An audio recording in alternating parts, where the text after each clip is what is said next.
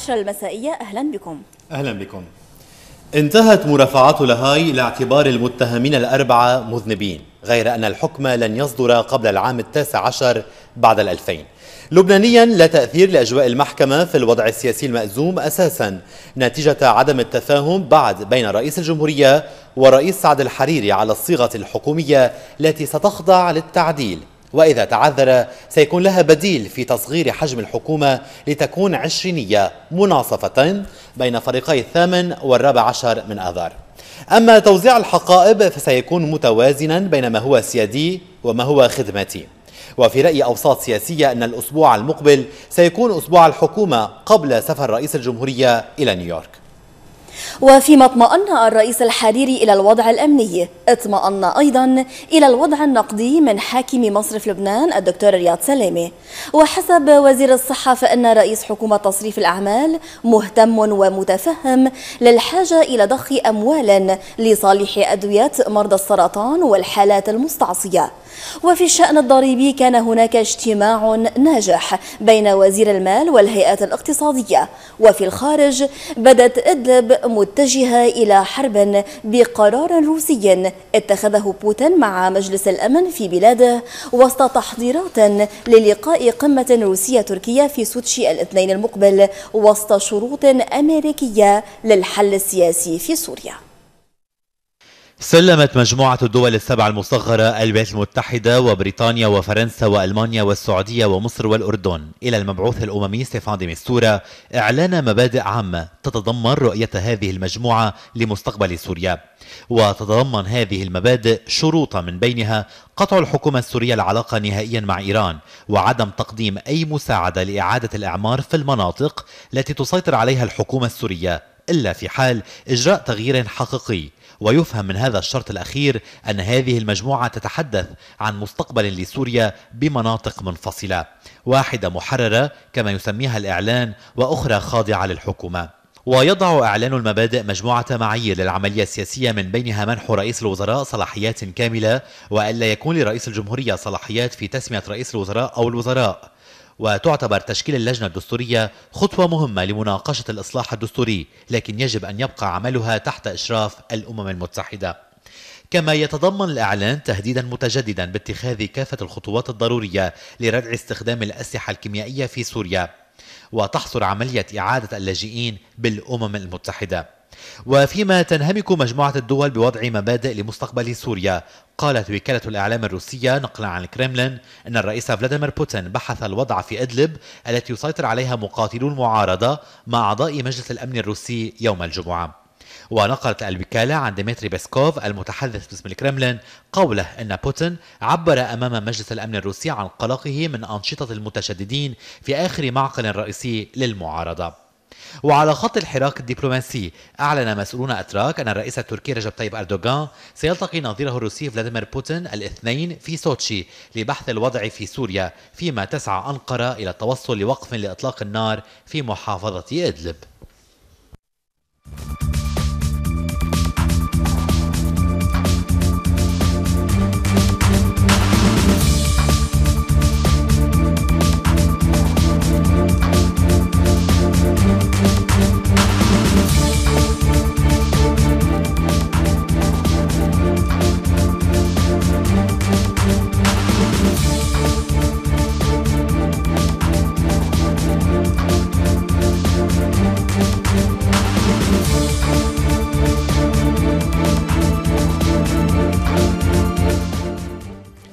أنهى الادعاء في المحكمة الدولية الخاصة بلبنان مرافعاته الختامية وبعد ظهر اليوم قدم فريق المتضررين مرافعاته في حضور ست من عائلات المتضررين من عملية اغتيال الرئيس الشهيد رفيق الحريري.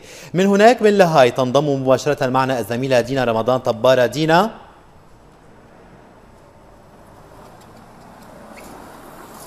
نعم توني مساء الخير وشكرا لك كما ذكرت فإن الادعاء اختتم اليوم مرافعاته العلنية أمام غرفة الدرجة الأولى وكذلك فعل المرافعون القانونيون لأهالي آه، الضحايا وطبعا المتضررين. غرفة الدرجة الأولى آه، برئاسة القاضي ديفيد ري استمعت إلى الادعاء على مدى ثلاثة أيام ونصف اليوم واستمعت بعد ظهر اليوم. كما ذكرت توني آه، إلى أهالي المتضررين المرافعات القانونية بخصوص أهالي المتضررين. آه، وخصوصا من أهالي الشهداء. هناك مسؤولية سياسية حملت إلى حزب الله. المسؤولية السياسية تتعلق بالرابط مع سوريا بتقويض حجم الرئيس الحريري السياسي حتى لا تجرى الانتخابات عام 2005 وحتى لا يشكل كتلة برلمانية كبيرة ويتحرر من النظام السوري ومن الوصاية السورية. هذا في الشكل السياسي. الادعاء قال إنهم متورطون في إشارة إلى المتهمين الأربعة من عناصر حزب الله بأنهم متورطين بهذه الجريمة آه، الإرهابية. هذا بالنسبة للادعاء وبالنسبة للمرافعات القانونية بالنسبة للمتضررين. يوم الاثنين المقبل ستكون هناك المرافعات العلنية للدفاع.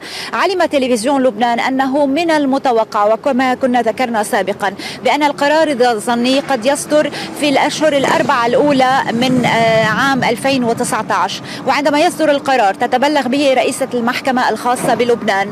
تبلغه إلى الأمين العام للأمم المتحدة إلى أعضاء مجلس الأمن الدولي وطبعا الحكومة اللبنانية. لبنان يبلغ رسميا بالقرار الاتهامي وأيضا الانتربول. وعلى الحكومة اللبنانية أن تنفذ هذا القرار تنفذ القرار الاتهامي. إذا كان هذا كل شيء من لهاي بعد اختتام مرافعات آه، الادعاء. وطبعا آه، المرافعين القانونيين للمتضررين. وكنا مع معكم مباشرة عبر كاميرا الزميل حسين حجازي. توني؟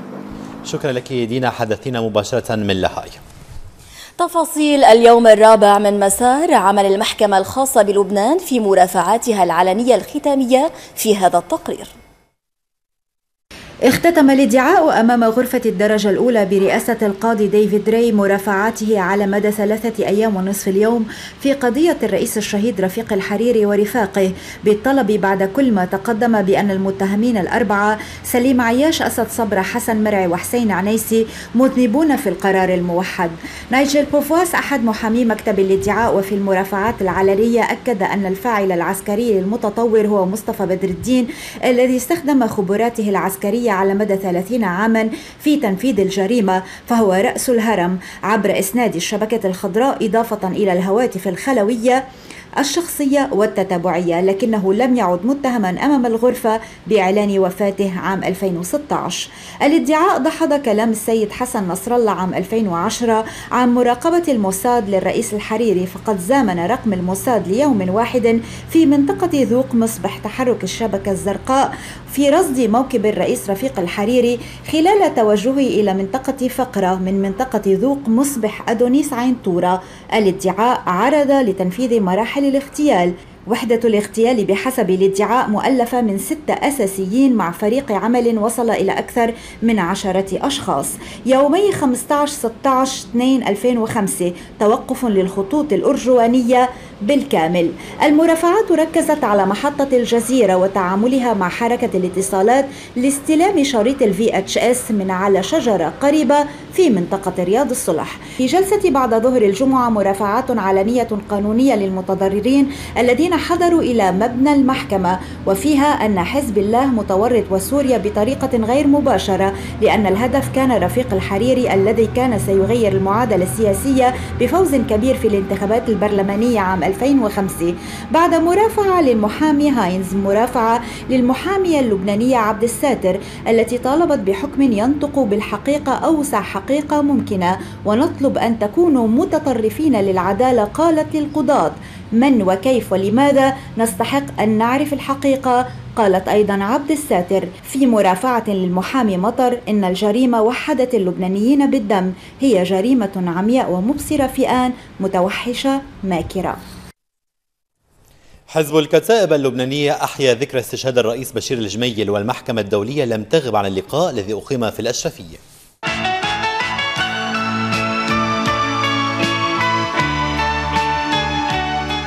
في الذكرى السادسة والثلاثين عادوا جميعا إلى البداية إلى المكان الذي انطلقوا منه وإلى البيت الذي حضنهم لسنوات وشهدوا فيه على استشهاد الرئيس بشير الجميل في 14 أيلول 1982 الذكرى هذا العام لها طعم آخر لأنها المرة الأولى التي تقام بعد صدور الحكم منذ ما يقارب السنة ومع انطلاق المرافعات في المحكمة الدولية الخاصة بلبنان والتي وبحسب النائب نديم الجميل ستعيد الحق لشهدائنا للرئيس الحريري وللرئيس بشير الجميل وشهداء 14 أيلول وثورة الأرز. ما فينا إلا ما ننظر بهيدا الزمن يلي عم نمر فيه. ما فينا إلا ما ننظر لكم كيلومتر من هون لهولندا. للهي مطرح مطرح ما المحكمة الخاصة للبنان كمان عم تنظر باغتيال بقضية اغتيال رفيق الحريري وكتار من شهداء ثورة الأرز. لأنه اليوم هيدا بصيص أمل لإلنا. مثل ما كان بصيص الأمل ب 20 تشرين تشرين 2017 لما أصدروا الحكم بقضية بشير اليوم عم نشوف إنه من زمن الحقيقة إلى زمن العدالة وإذا الله راد إلى زمن الحق يلي لازم يتحقق كرمال شهدائنا نرجع نرد لهم اعتبار حقيقي. وقد تخلل الحفل وضع أكاليل من الزهر على الشعلة المضاءة وكلمات في الذكرى لتلفزيون لبنان. نحن سعيدين أنه بلاهاي آه، في محكمة دولية عم تحاول أنه تضوي الحقيقة على جريمة كتير كبيرة حصلت. وبإذن الله نوصل كمان لتحقيق العدالة. المحكمة الدولية بتقدر تعطي حق كبير لرفيق ولثورة الأرز ولشهدائها ول 14 أذار ولكن المهم كيف بدها تطبق؟ المهم شو الثمن لتطبيقها؟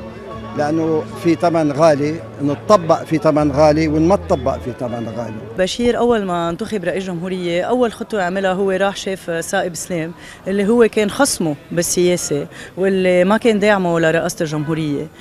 آه بعدين راح شاف ألبان مخيبر كمان اللي كان ضده سياسيا. و... ويمكن كانت الخطوة الجاية يطلع عن بيت فرنجية ويشوفون ويشوفوا سوا كيف كان فيهم يبنوا بلد. لأنه بشير كان بده يبني بلد. ما كان جاي يعمل آه، زعيم على شعبه أو آه، أو آه، على دولته. لا كان جاي يبني بلد حقيقي كان بده دولة وكان بده يكون في معارضة. وفي المناسبة أقيم القداس الإلهي في بكفية بحضور الرئيس أمين الجميل والعائلة وحشد من المسؤولين الكتائبيين والمناصرين. أهلا بكم من جديد. الرئيس العماد عون عرض التطورات الإقليمية مع إياد علاوي والتقى وفد صينيا أبدى استعدادا للاستثمار في لبنان.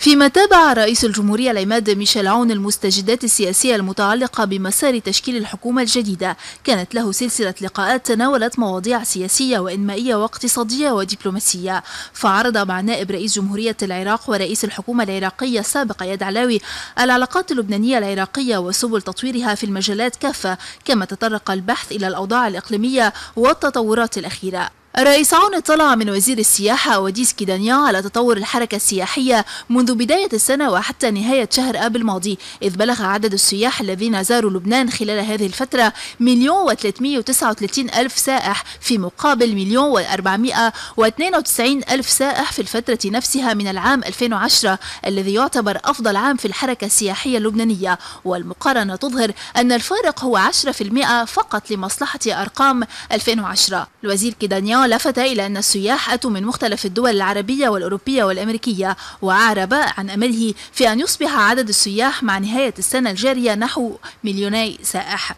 الرئيس عون أجرى مع الوزير السابق زياد بارود جولة أفق تناولت الأوضاع العامة والتطورات الأخيرة كما تركز البحث على عدد من المواضيع وأبرزها اللامركزية الإدارية وأهمية اعتمادها وفق ما دعا إليه الرئيس عون في خطاب القسم. وفي القصر الجمهوري سفير البرازيل في لبنان جورج جيرالدو قادري لمناسبة انتهاء خدماته في لبنان وانتقاله إلى وزارة الخارجية البرازيلية. ومنحه رئيس الجمهورية وسام الأرز الوطني من رتبة ضابط أكبر. اقتصاديا التقى التقى الرئيس عون المجموعة الصينية الاقتصادية التي تعنى بشؤون الاستثمار في المشاريع الحكومية برئاسة تشين شاويجي الذي أعرب عن استعداد المجموعة للاستثمار في المشاريع التي تنوي الدولة اللبنانية تنفيذها في مجالات الطاقة والمواصلات البرية والجوية وسكة الحديد وغيرها. الرئيس عون نوه بالعلاقات اللبنانية الصينية التي تشهد نموا في مختلف المجالات مجددا الترحيب بمبادرة طريق الحرير التي سبق أن أبدى لبنان تأييده لها. شاكرا للصين دعمها للبنان في المحافل الإقليمية والدولية لا سيما في الأمم المتحدة ومجلس الأمن الدولي. أصدر الرئيس المكلف رئيس حكومة تصريف الأعمال سعد الحريري مذكرة قضائية أو مذكرة عفوا قضت بإقفال الإدارات العامة والمؤسسات العامة والبلديات بمناسبة ذكرى عاشوراء والموافق يوم الخميس الواقع في 20 9 2018 من جهة ثانية التقى الحريري في بيت الوسط السفير الفرنسي في لبنان برونو فوشيه وتم البحث في المستجدات والعلاقات الثنائية كما التقى الرئيس الحريري مدير منظمة الغذاء العالمية عبد الله الوردات وتم عرض لعمل المنظمة ونشاطاتها. الرئيس الحريري التقى نائب الرئيس العراقي إياد علاوي وتم عرض للتطورات الراهنة.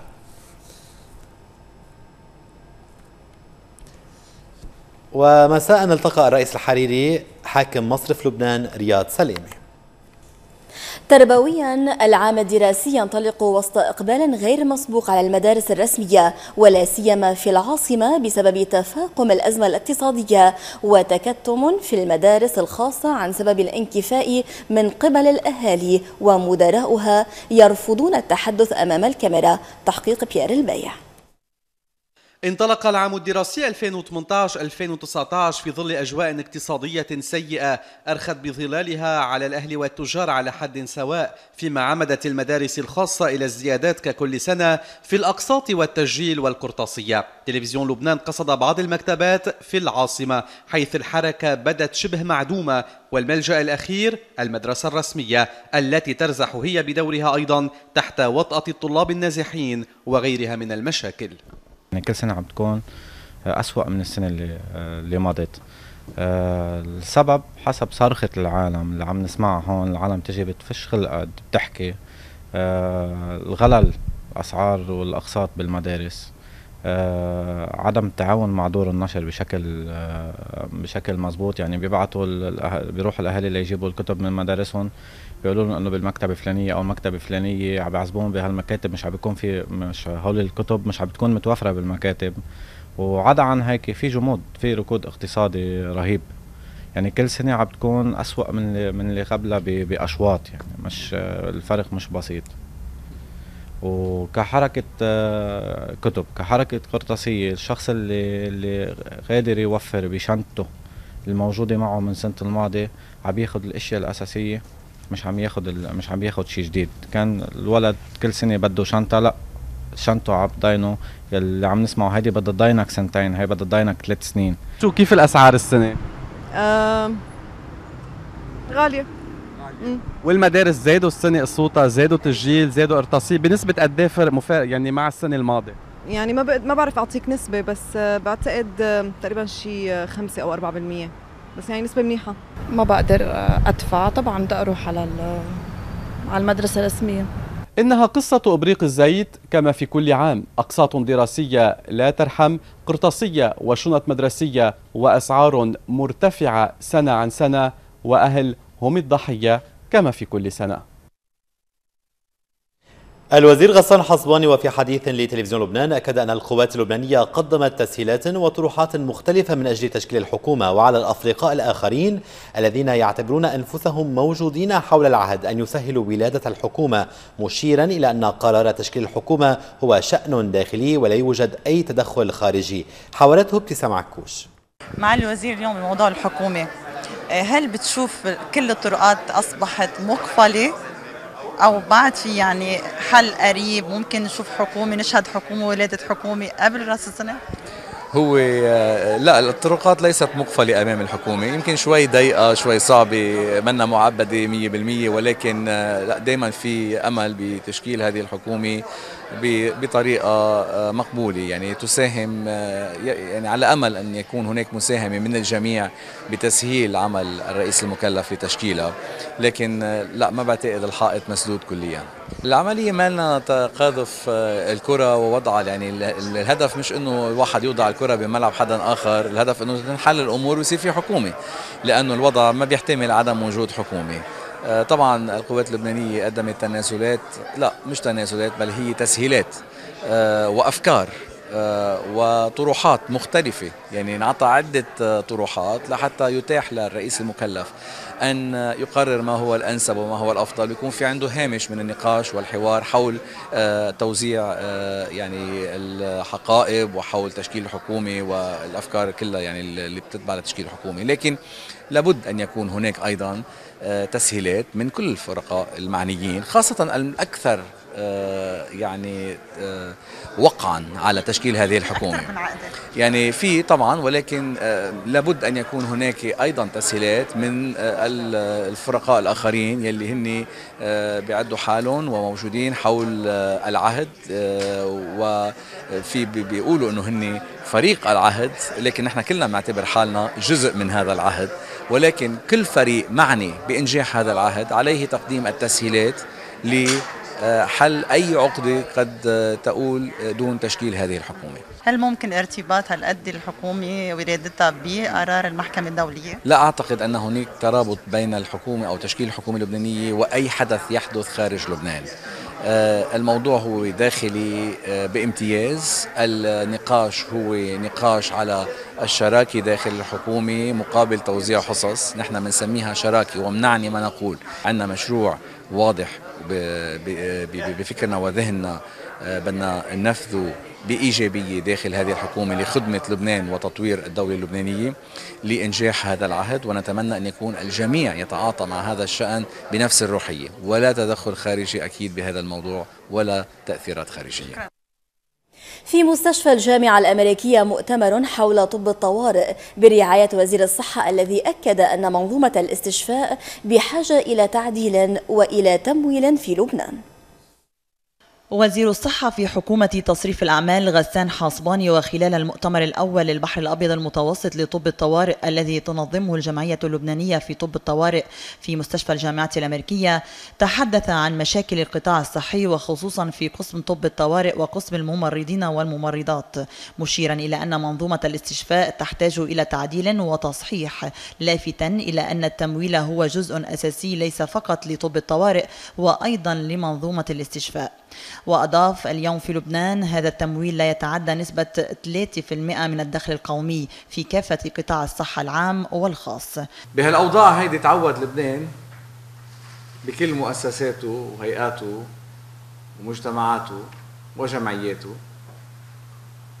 إنه يشتغل بطريقة تعاون وتعاضد لحل مشاكل وبيستغربوا الناس لما نقول لهم إنه لبنان بالمرتبة الأولى عربيا وشرق أوسطيا بالخدمات الصحية علما أنه كمية الأموال اللي بتنصرف على القطاع الصحي هي بالمراتب المتأخرة. كمان عنا الممرضين والممرضات يلي عددهم كتير قليل. بعد ما بلشنا بالاختصاص عم نحكي حتى العدد المطلق للممرضين والممرضات قليل جدا بحسب الطلب. كمان بدنا نعالج هالناحية كل هيدي المنظومة ضمن الرؤية بدها شغل مستدام بدها عمل على تنظيم المهن بدها عمل على نص القوانين وإقرار هذه القوانين بمجلس النواب إن كان من قبل آه، الحكومة اللي هي مشاريع قوانين أو اقتراحات قوانين عبر النواب.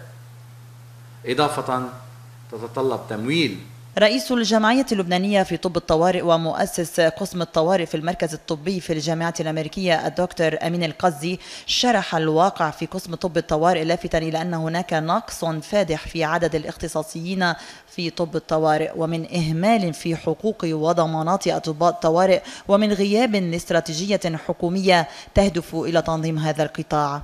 وكانت كلمة لنقيب المستشفيات في لبنان سليمان هارون ولنقيب الأطباء في لبنان ريمون صايغ ولنقيبة الممرضين والممرضات عبير علامي شارحين فيها مشاكل هذا القطاع بدءا من مشكلة الطوارئ إلى النقص الحاصل في المستشفيات داعين إلى ضرورة تشجيع التخصص في طب الطوارئ في لبنان وتحسين ظروف العاملين فيه وإيجاد حل لمشكلة النقص في عدد الإخصائيين وفي الختام قدم الدكتور القصدي جائزة باسم الممرضة في قسم الطوارئ ريما جبور تكريما لها ولتفانيها وخدمتها في هذا القسم منذ أكثر من 25 سنة.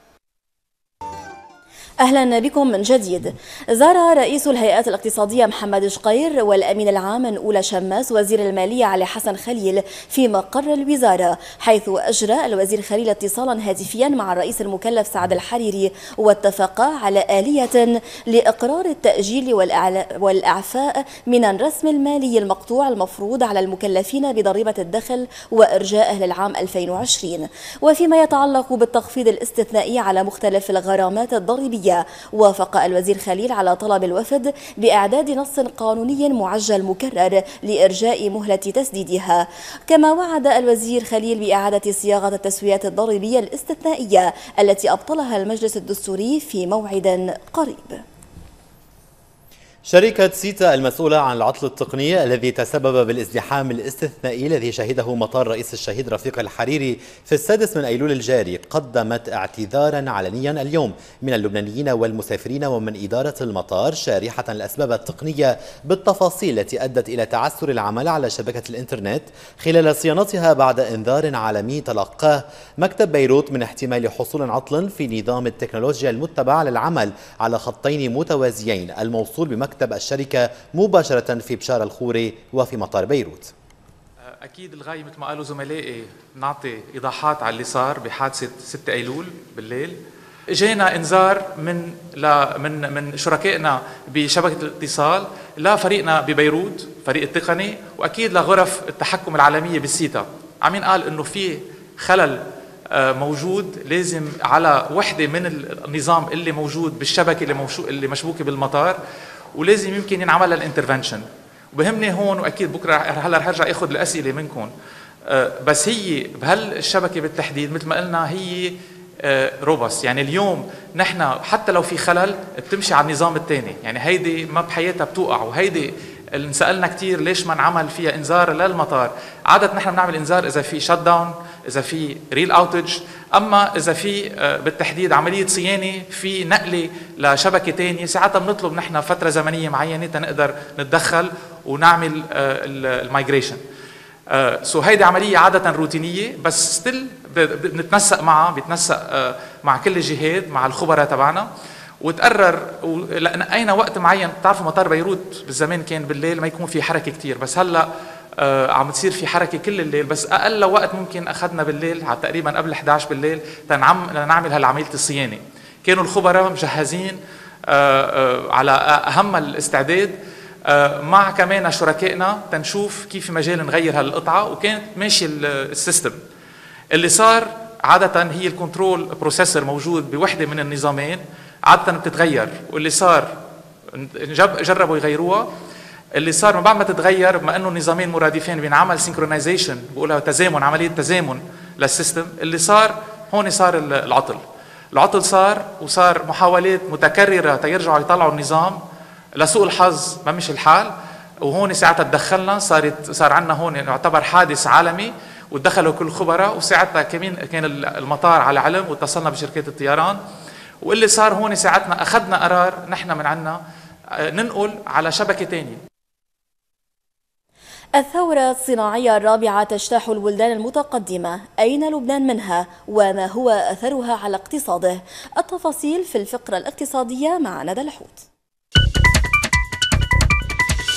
في الاقتصاد ما هي الثورة الصناعية الرابعة؟ وكيف يمكن للبنان أن يواكب هذا التطور في ظل الواقع السياسي والاقتصادي الذي يمر به معه في الفقرة الاقتصادية؟ عضو مجلس نقابة المهندسين المهندس وسام الطويل. يعني فينا نحكي شرح مقتضب حول المؤتمر اللي بيصير يوم الأربعاء برعاية الرئيس الحريري وشو أهميته على الاقتصاد اللبناني. نعم. نحن آه، برعاية آه، دولة الرئيس سعد الحريري عم تنظم اللجنة العلمية بنقابة المهندسين في بيروت. سلسلة مؤتمرات علمية مترابطة مع بعضها بعنوان أساسي هو الثورة الصناعية الرابعة. نعم. ببلش نهار الثلاثاء أول مؤتمر اللي هو بيعرف عن الثورة الصناعية الرابعة. بيرجع بعد كل شهرين في عنا مؤتمر. المؤتمر الثاني هو عن المدن الذكية. المؤتمر الثالث هو عن عن الذكاء الاصطناعي الثورة الرقمية. وتأثيرها على الاقتصاد. وآخر مؤتمر هو بيتناول عن تحديات التعليم الهندسي العالي بضوء الثورة الصناعية الرابعة. يعني كيف سيؤثر على الاقتصاد اللبناني؟ وهل يمكن للبنان أن يواكب هذا الموضوع برأيك؟ يعني آه، الثورة الصناعية الرابعة يلي هلأ عم بتصير وعم بتصير آه، بسرعة كثير كبيرة عم بتأثر على كل اقتصاديات العالم. ومنها أكيد عم بتأثر على لبنان. ونحن ما فينا نكون آه، بجزيرة عن هالشيء اللي عم بيصير بالعالم. م. عم بيصير في ثورة بموضوع الثورة الرقمية عم بيصير بعالم الاتصالات بعالم الذكاء الاصطناعي بعالم تخزين المعلومات آه، حتى بالبيوتكنولوجي بكثير مطارح. وهالثورات كلها وهالتقدم هيدا كله عم يعمل ارتباط ببعضه البعض. م. عم بيأثر على الاقتصاد عم بيأثر على المهن. في مهن رح تبطل تكون موجودة. مثلا؟ آه، في مهن كثير يلي بدها للأشياء اليدوية مثلا بتأثر عليها حتى آه، بكل المجالات المجالات الهندسية الطبية المهنية بكل المجالات. بلشنا بالصحافة مثلا. وبالصحافة مم. مثلا شايفين يعني digital media يعني هلأ بدنا نفوت بال digital media وقد إيه هيدا. فنحن حابين نفتح هيدا النقاش بنقابه المهندسين. آه وهذا النقاش هو نقاش استراتيجي لازم نبلش فيه يعني أكيد الحكومة اللبنانية والدولة وكل الناس اللي عم بيفكروا آه كل الناس المهنيين بالبلد إنه يفكروا استراتيجيا شو عم بيصير بالعالم ونحن وين دورنا وين نقاط القوة لبنان وين بهذا الموضوع؟